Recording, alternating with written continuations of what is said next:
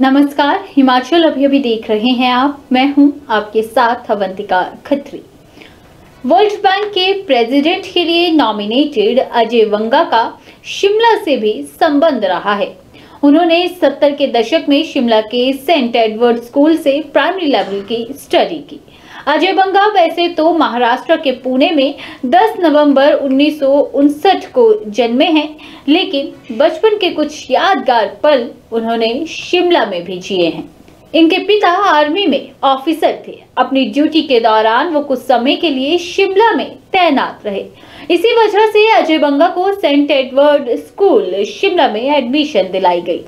अजय 1975 में शिमला में रहे। उनके पिता हरभजन सिंह एक लेफ्टिनेंट जनरल थे और शिमला में उनकी पोस्टिंग थी।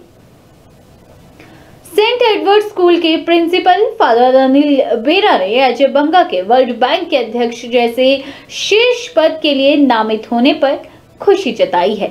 उन्होंने कहा कि स्कूल आज शिमला के लिए ये गर्व की बात है।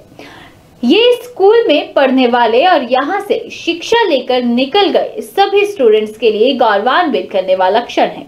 उन्होंने कहा कि जब आपकी शिक्षा आपको समाज में तालीम देती है तो खुशी का कोई ठिकाना नहीं रहता।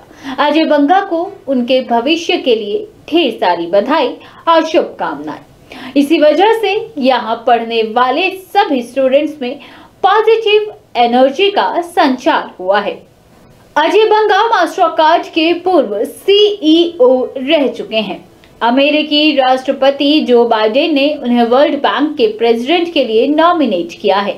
वो इसके लिए भारतीय मूल के पहले व्यक्ति हैं।